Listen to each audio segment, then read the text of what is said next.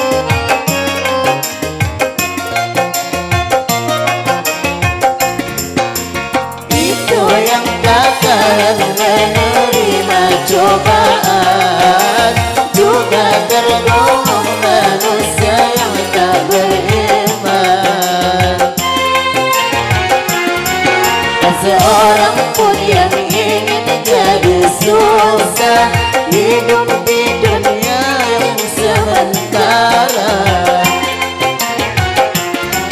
Akal dan pikiran yang telah tercoreng